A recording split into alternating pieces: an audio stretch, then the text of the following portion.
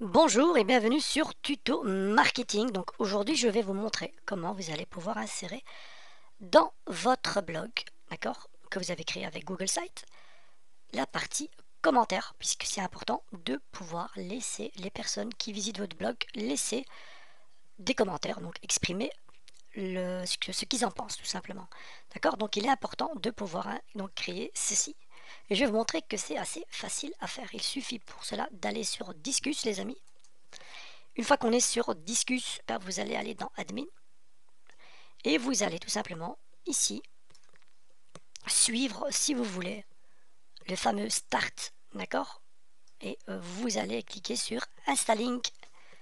D'accord? Euh, Installing euh, Discus. Donc là, vous allez voir que vous allez créer un site.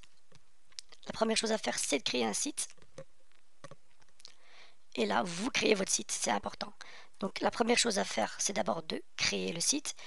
D'accord? Et puis, une fois que vous êtes là, ce que nous, on va faire, une fois que vous avez donc installé euh, votre site, vous cliquez sur le fameux plugin que vous allez devoir récupérer. Mais vous allez voir que Google Site ne l'a pas ici.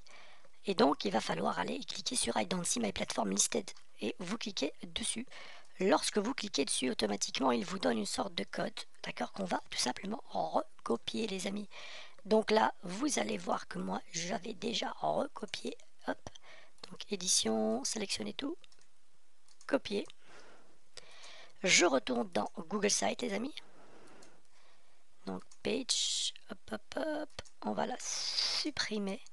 Voilà. Donc là, je suis dans mon site de Google Site, d'accord Dans la partie admin,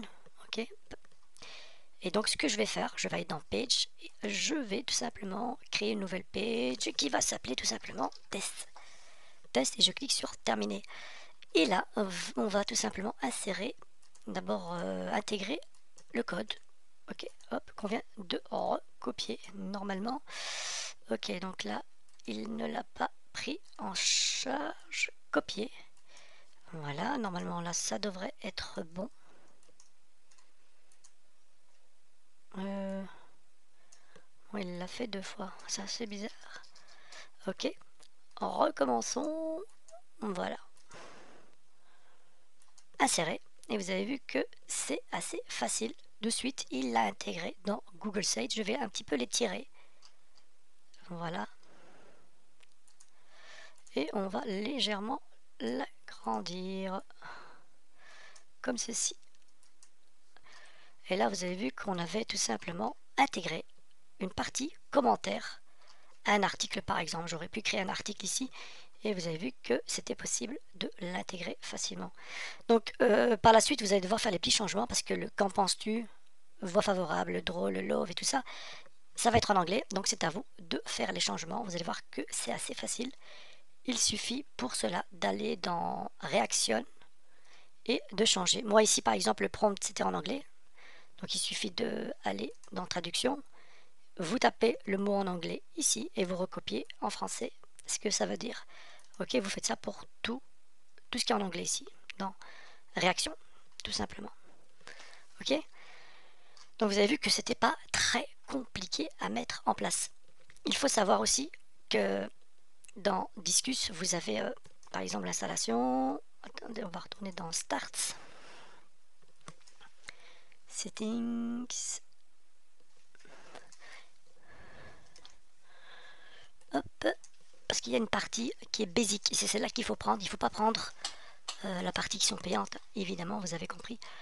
On va tout simplement aller dans la partie euh, gratuite.